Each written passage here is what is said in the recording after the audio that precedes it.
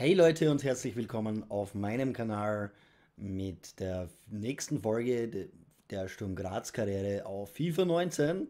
Ja, Sturm ist leider abgestürzt auf den sechsten Platz und wie ihr seht, der nächste Gegner ist Harzberg. Da haben wir mal gewohnt, habe ich mal gewohnt, muss man sagen. Äh, und ihr habt mich, ihr verfolgt mich schon sehr lange und ja, ihr seid die Besten, ihr seid meine Patienten und wir starten hier direkt rein. Äh, nach langer, langer Zeit, also nach langer Zeit sage ich, äh, wird es wieder mal Zeit mit einer FIFA 19 Karriere. Ich sehe hier Timothy Ware. Können wir den ausleihen? Eventuell wäre ein guter Stürmer. Ja, und dazu möchte ich noch sagen, ich war in letzter Zeit auch im Stadion, gegen St. Pölten nicht. Da war ich in Oberösterreich letztes Wochenende und äh, davor war ich gegen Wacker Innsbruck dabei. Ähm, und dazu hat der liebe Delains TV natürlich auch ein Video gemacht. Ähm, äh, mit mir gemeinsam seine, seine, seine Spiel, Spielberichtsvorschau, Livestream und seine Spielnachbericht. Gott sei Dank ist dieser äh, dieser Vogel weg. Der hatte doch einen Vogel eigentlich, muss man dazu sagen. Und geben wir alle mal jetzt Roman Melich die Chance, würde ich behaupten und würde ich sagen, obwohl es nicht die beste Lösung ist, ähm, äh, würde ich sagen, dass wir ihm die Chance geben sollen, sollten, obwohl es eben nicht die beste Lösung ist. So, Valentino Lazaro können wir nicht holen. Timothy Weah können wir eine Laie vielleicht haben. Ist, glaube ich, der Sohn von George Weah, wenn mich nicht alles täuscht. So, jetzt schauen wir mal. Beginnen wir mit der Leihdauer. Kurze Laufzeit, ein Jahr. Sind Sie damit einverstanden? Wir sind gern. Okay, passt. 50-50, seid ihr damit zufrieden?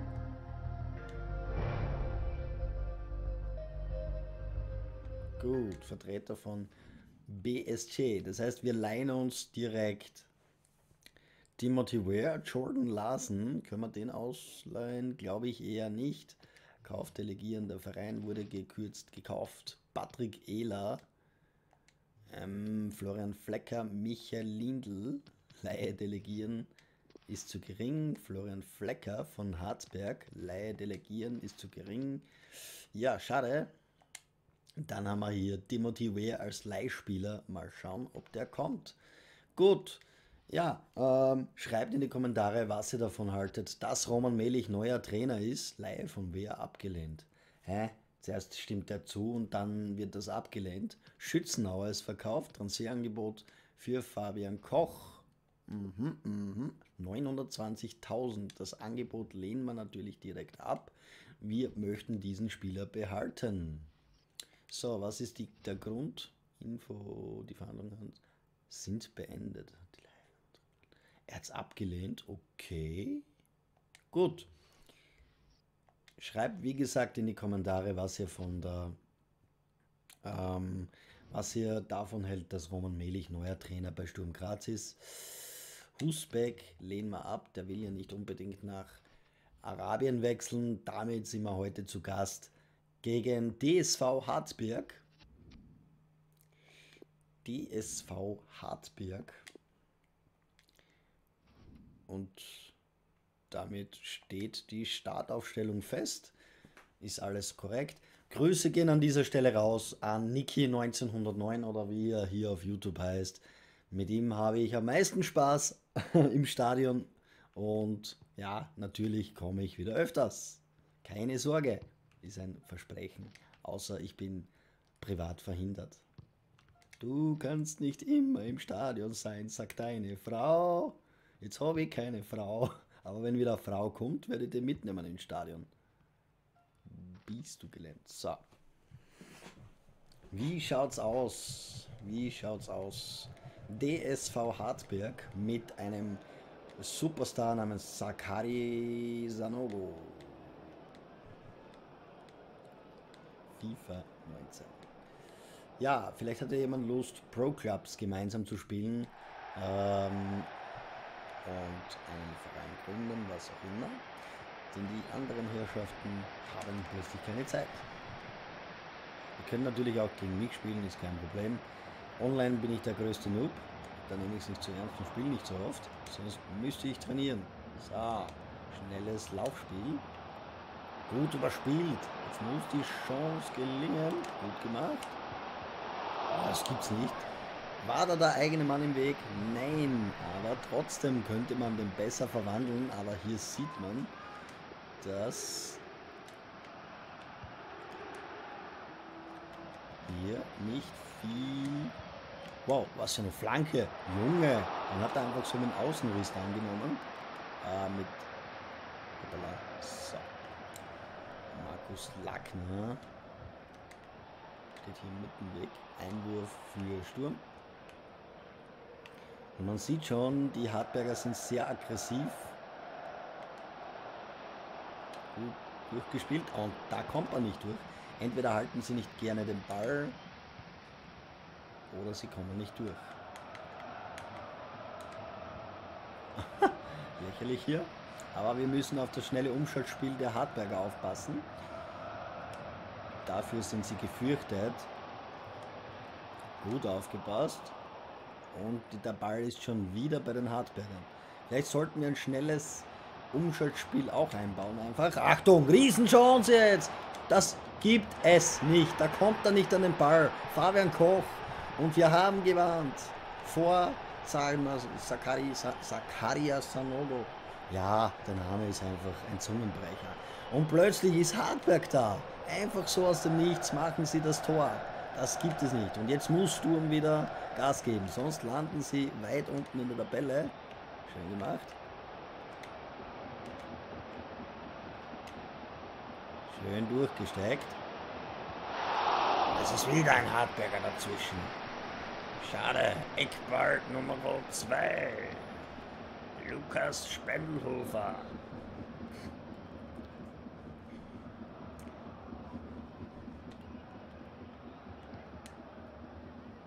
Aber was macht denn er hier? So, ab.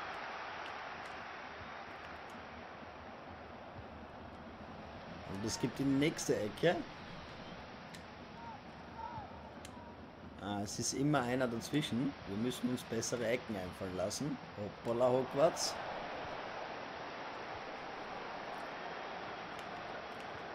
Und das schnelle Umschaltspiel der Hartberger funktioniert. Eindeutig. Nicht sehr gut, aber dennoch. Jetzt wird angezeigt, dass er bereit ist. Er bleibt hängen. Schade.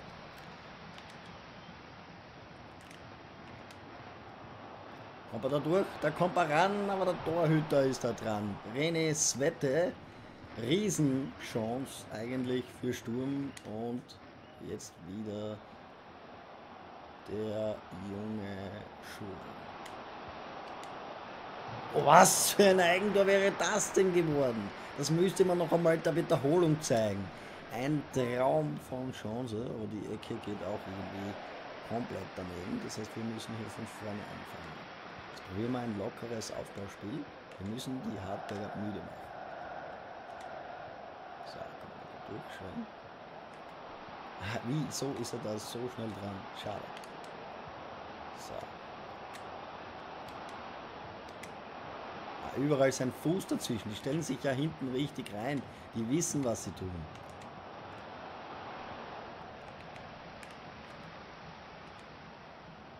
So. Aha, gut zu wissen. Die stellen sich wirklich hinten tief rein. Tief stellen sie sich rein. Tiefer als der Marianengraben. Na komm, da kommt man nicht vorbei. Schade, sehr schade. Sehr schade. Und jetzt müssen wir wieder aufpassen. Achtung. Hallo, Goalie. Okay, okay. Das war ziemlich knapp. 1 zu 0 nach einer halben Stunde. Ist natürlich nicht der Weltstar-Fußball hier.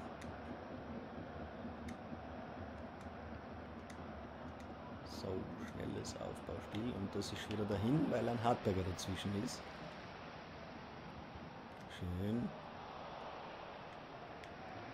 ja, wenn sich hier die Herrschaften ein bisschen besser freistellen. Da sieht er, dass Fabian Koch wieder über die Seite kommt. Achtung! Gut verpackt. Und jetzt der Kopfball und er geht drüber. Armer Peter Schul, wenn es Schul war.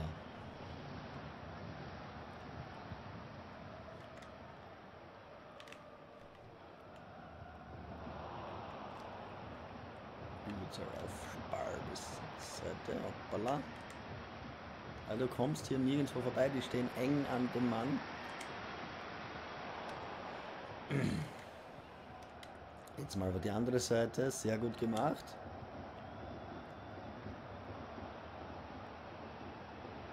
So, wer stellt sich hier nicht in den Weg?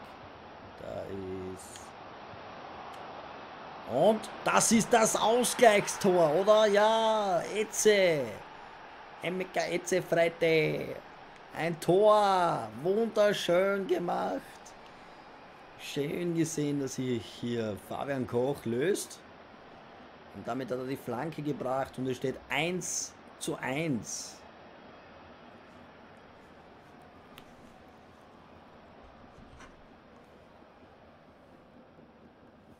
Wunderschön gemacht. Eigentlich sehr gut gemacht.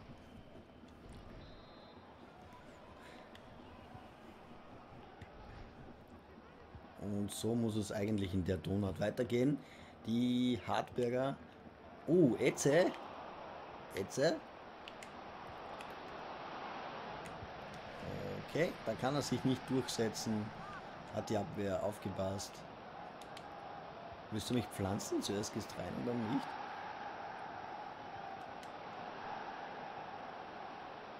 Na, lässt er sich hier den Ball nicht abjagen. Das ist sehr schade. Ah, wieder abgefälscht. Sehr schade. Hierländer ist auch schon am Zahn seines Zenits. Der braucht die Pause jetzt unbedingt.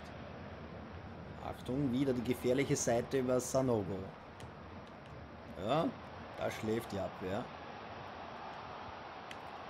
Hallöchen. Und Dario Maresic, der übrigens ziemlich hart eingestiegen ist gegen St. Pölten, habe ich gesehen. Also, was macht der Kohle hier? Äh, der sollte auf den Ball zulaufen eigentlich. Gut durchgesetzt. Aha.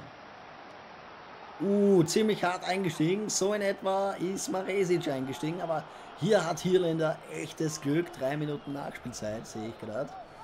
Ui, brutal. Einfach brutal. Raus damit. Schnelles Umschaltspiel. Geht sich nicht aus. Der Schiedsrichter hat das Pfeiferl im Mund auf Deutsch gesagt. Und damit geht's weiter. Zurück. Vielleicht eine kleine Umstellung. Wir haben keinen Ersatztorhüter. Ist auch sehr schade. Wir könnten in der zweiten Halbzeit den schnellen Husbeck bringen. Ich habe da vermutet, ich habe statt Hierländer Husbeck aufgestellt.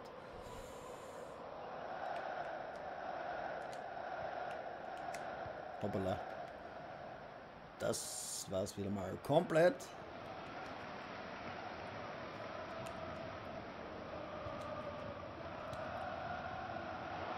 Hier wird sehr schnell überspielt.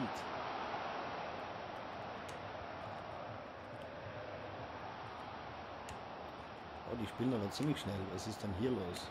Achtung! Gefährliche Flanke, aber Sanogo einmal weniger geschalten mit seinem Köpfchen, mit seinem Spielgenie.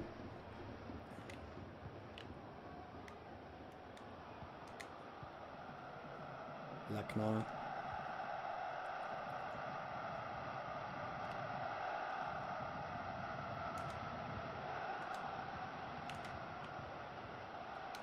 Ah, komm schon, das muss schneller gehen.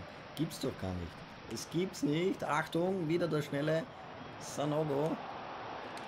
Und ganz gut aufgepasst. Ja, der geht raus. Nein, der geht nicht raus. Sanogo. Ah, Sanogo ist so stark am Ball. Ja, jetzt mal weniger. Achtung. Alter, dann kriegst du den Ball nicht weg. Und sie bleiben mit viel Glück im Ballbesitz.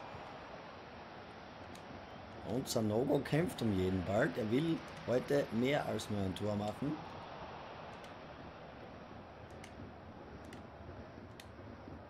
So, gut gelöst. Und hier Länder jetzt mal. Aha. Da hat er sich zu viel gespielt. Achtung! Die rennen sich gegenseitig rein. Typische Computer. Ach komm schon, jetzt reicht's aber mal. Warum verliert ihr immer den Ball hier? Gut gemacht. Oh, der ist aber sehr quer stark. Meine Güte, was ist denn hier los? Die kriegen den Ball nicht weg. Jetzt kassieren sie es gleich. Werdet ihr sehen, Achtung, gut abgezogen und es gibt den Abstoß. Die Hartberger drücken und Sanogo wird runtergenommen. Florian Flecker kommt. Jetzt machen sie den Druck. Etze. Aha. Und gut erobert von Etze. Etze, jetzt mit der Riesengelegenheit. Was macht er denn? Ein Tor! Wahnsinn! 2-1. Was wäre das denn für eine peinliche Aktion gewesen? Stefan Hirländer, der ja beim Spiel gegen Wacker Innsbruck das leere Tor nicht einmal getroffen hat. Zweimal sogar. Sehr schade. Aber hier trifft er. Unser Stefan Hirländer. Sehr schön gemacht.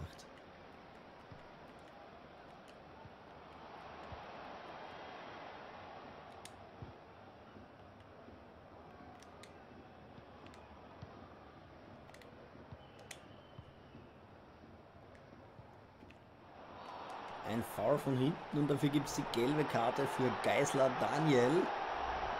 Das hätte auch rot sein können, ist aber nicht unbedingt muss.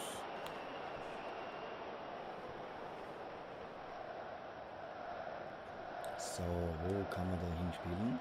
Nicht hier, aber hier. so spielt man es auch gut.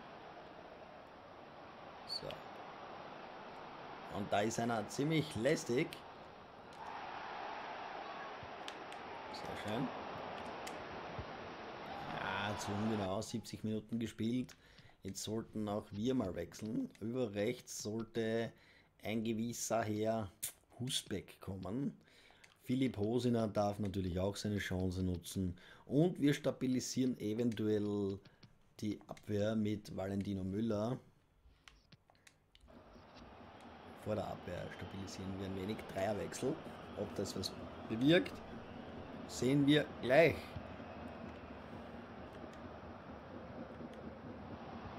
Ja, es geht ziemlich schnell. War hier ein Abseits dabei? Ja. Hier stand einer im Abseits. Markus Lackner.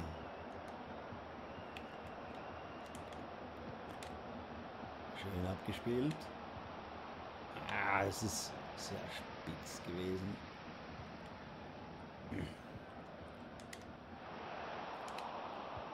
Sehr schön. Es ist immer ein scheiß Haxen dazwischen. so, noch. Ah, der erwischt den Ball noch. Sehr cool.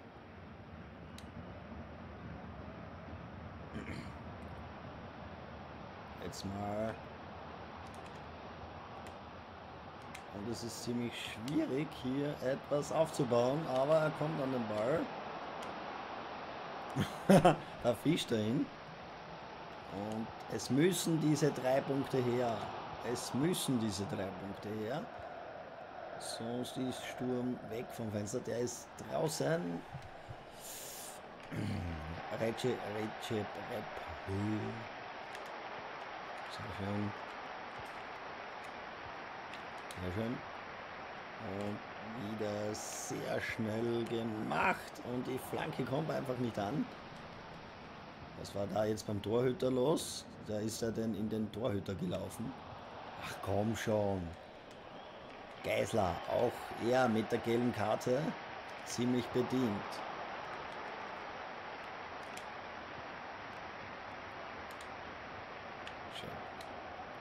Kein Abseits und da zieht er ab und René Svette ist hier am Ball. Renes Wette ist hier am Ball und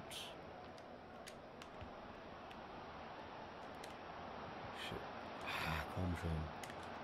Wir können die Anspielstationen nicht benutzen. Ah ja, im Nachhinein, natürlich.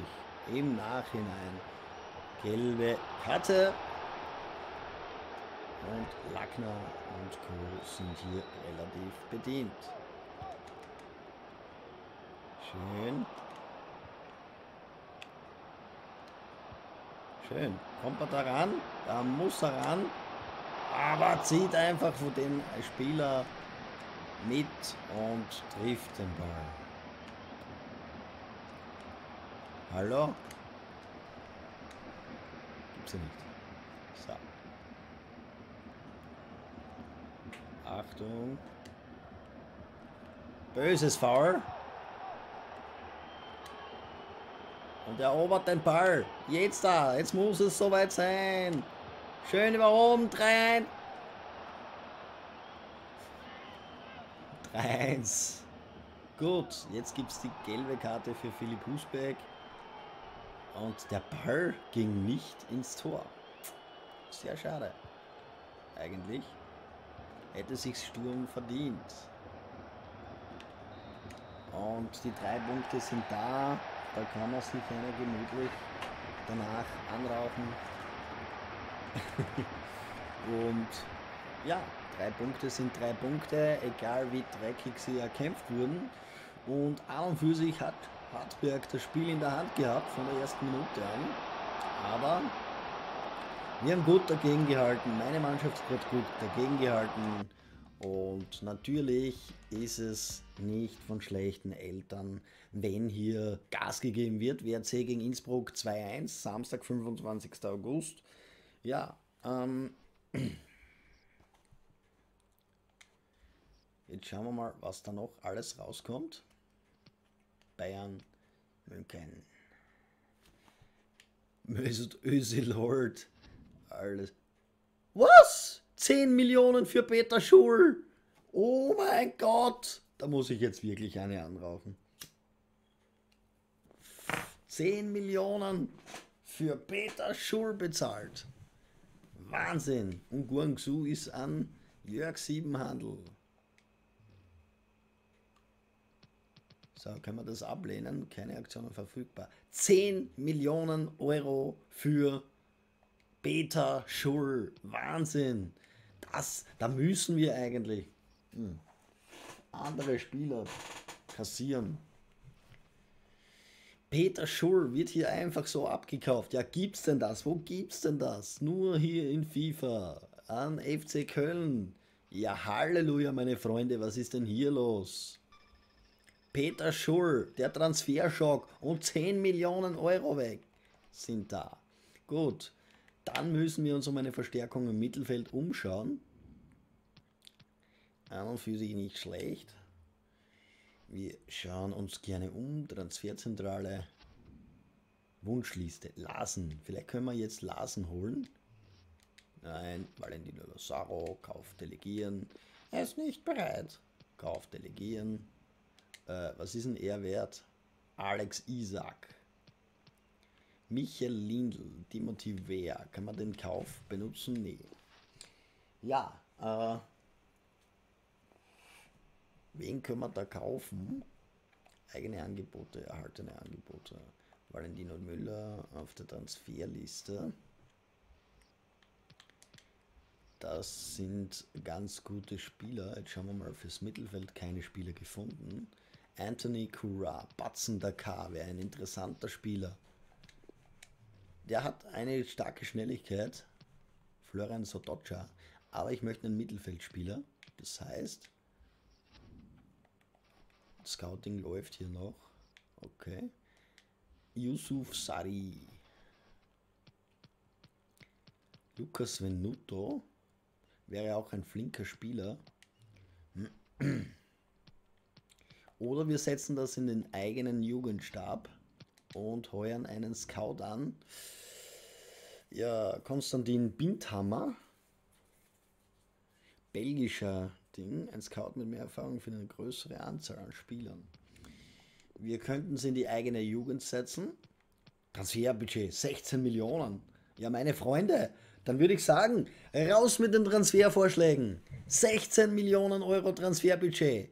Raus mit den Transfervorschlägen. Welcher Spieler soll kommen fürs Mittelfeld? Oder habt ihr eine Rakete, die sofort zum Kaufen ist und nicht erst in ein paar Saisonen? 16 Millionen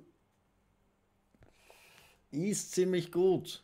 Meine Herrschaften, da muss ein Spieler der Sonderklasse her. Und ich schau mal in der eigenen Liga bei der Konkurrenz mich um. Natürlich. Österreichische Bundesliga, wir gehen zum HC. Das hätte natürlich einer gerne. Wir schauen bei Red Bull Salzburg. Batzendacker Mittelfeld. Slatko Junuzovic ist frisch gekommen. Samaseko würde mich interessieren. Hannes Wolf, der wäre ein richtig geiler Ersatz. Mit seinen 19 könnte uns helfen. Schoboschlei, Xaver Schlager. Oder ich schaue, nein.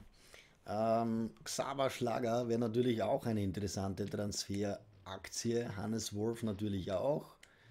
Nicht schlecht, nicht schlecht. Und für die Verteidigung, damit die Verteidigung besser wird. Aber das überlasse ich euch. Ihr könnt von jedem Verein etwas vorschlagen. Haut's raus, die Kommentare und haut rein. Lasst einen Daumen nach oben da. Ich freue mich, dass ihr hier Kommentare da lasst und ciao, bis zum nächsten Mal. Arrivederci.